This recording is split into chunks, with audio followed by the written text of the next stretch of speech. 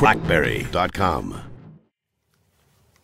Hi, this is James from Crackberry.com, and we're taking a look at the uh, the active frames on uh, BlackBerry 10.3. Now, prior to 10.3, we didn't have a lot of control over these. They were kind of they were kind of there, and you couldn't do anything with them. But luckily, with 10.3, we can now arrange them. So you can have them uh, where you want. Um, I'm kind of, I kind of always have this, probably the same, at least four applications open. As you can see here, I've got BBM, uh, iGrann, and Facebook, and uh, Crackberry here at the top.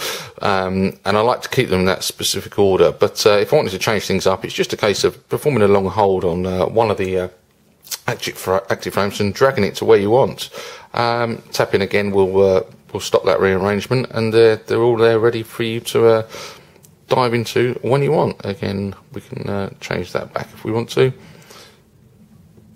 We get a nice little animation as uh, as they're in that format, and that's about it. It's a wrap. That's how to rearrange them. Catch you later.